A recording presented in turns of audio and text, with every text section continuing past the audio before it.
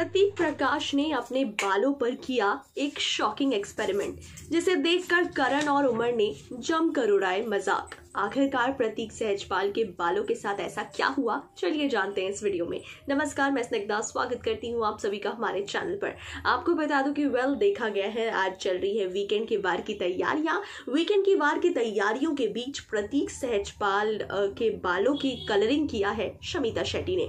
शमिता ने बेसिकली प्रतीक के बालों को दिया है ब्लॉन्ड कलर और ब्लॉन्ड के साथ साथ उन्होंने कुछ स्ट्रीक्स भी करने की कोशिश की है प्रतीक के बालों में।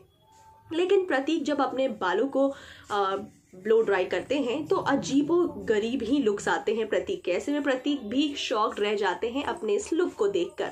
और प्रतीक के इस लुक को देखकर करण और उमर दोनों ही मज़ाक उड़ाते हुए नज़र आए।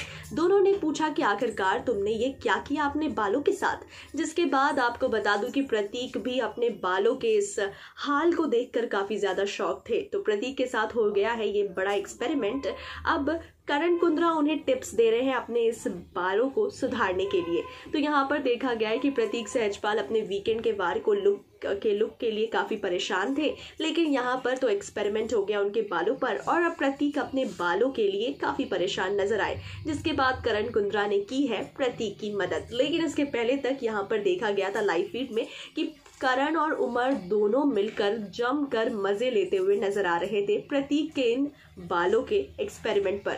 क्या कहना चाहेंगे आप इस खबर पर? प्रतीक सहजपाल के वीकेंड के वार के लुक के लिए आप सभी हैं कितने सुपर एक्साइटेड कमेंट बॉक्स में ज़रूर बताएँ। तमाम अपडेट्स के लिए बने रहें चैनल के साथ।